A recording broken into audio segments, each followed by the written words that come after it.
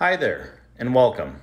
I'm Darren Ferguson, a film and video student at Full Sail University. Today we'll be looking at a brief history of film editing, the tools that helped it evolve, and the editors and films that impacted the industry. Scissors and tape were the original tools used for editing films when cuts were introduced to the film industry. Films were edited or cut to create transitions from one scene to the next. A good example of this is The Great Train Robbery from 1903. Films in this era were often recorded in a single studio space with a single camera, with a single camera angle. The director of the film was Edwin S. Porter. He was first to realize you can cross cut to show simultaneous action scenes in different places to create a narrative. The first film that demonstrated this was The Life of the American Fireman. The other other influential filmmaker and editor of the time was D.W. Griffith. He is referred to as the father of film. He was the first filmmaker to understand the importance of editing and the psychological effect it could have on viewers of the film. It was not until 1924 where the industry would have the first big editing breakthrough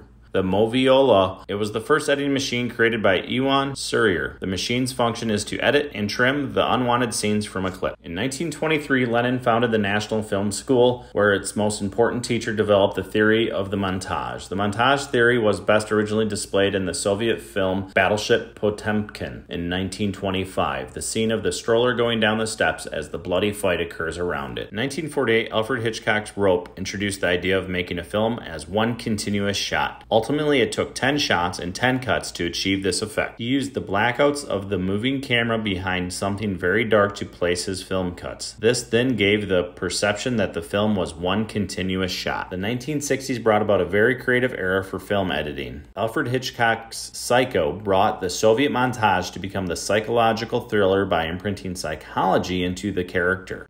The film focused on facial expressions mixed with scene cuts. The faster the scene cuts, the more scared one would become. The spaghetti western is born in 1966 with the good, the bad, and the ugly. The film introduces the use of cuts from wide angle shots straight to close ups and would influence countless films thereafter. The end of the 1960s brought us The Wild Bunch, the film that would mix slow motion intercuts with normal speed footage, creating a greater sense of drama. This technique was assisted by using multiple angles, cameras, and speeds of each scene, allowing the greater creativity in editing to enhance the film. Godfather, the original 1972 mob movie, brought us one of the greatest uses of juxtaposition in film editing the ability to intercut shots in ways that create new meanings. The sequence of the baptism and assassinations. The scene is the connection between the two parallel narratives that emerge in the film, done all through masterful editing. The 1980s brought some technology to the forefront of film ed. In 1985, Harry by Quantel was the first all around video editing and digital composing system. However, it was limited to 80 seconds of uncompressed 8 bit video. Two years later, Apple would launch Avid Media Composer, which is still used today to edit films. And in 1991, Adobe launched Premiere, now the industry leading software for video editing for all levels of editors. 1999 saw the third software for editing come to the industry with Apple's Final Cut Pro editing system.